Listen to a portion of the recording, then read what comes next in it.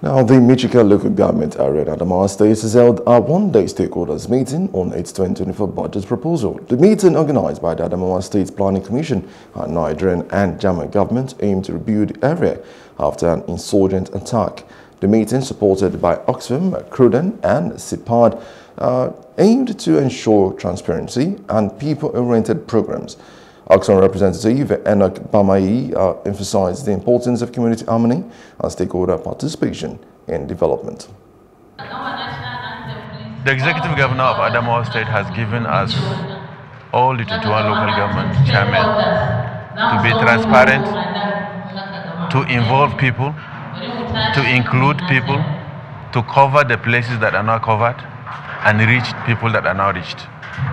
So when this program that came through the uh, Ministry of uh, Planning and Budget with the uh, supporting partners GIZ, Oxfam and Crusade. There was this policy document that was created and signed by the executive governor that is uh, uh, policy planning and participation, citizens participation. This document I've taken some time to go through and the one mission is to ensure that citizens are fully participate in their development of their communities.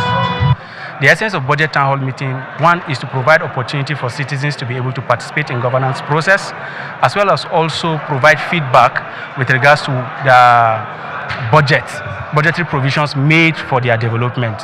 What is unique with this activity is the fact that uh, a lot of the community development priorities of Michika local government people, which is captured in their uh, local government community development plan are part of what were considered in the development and the design of this year's budget. So this activity is very unique because by this activity now citizens are able to know that their voices can be heard. And this is very, very uh, important in promoting good governance and ensuring bottom-up approach to governance. The executive director of ARPA has implemented an empowerment program to support Boko Haram victims in the northern part of Adamawa State. District Head Basil Said Lawan hopes the program will positively impact people's lives and is collaborating with the development partner.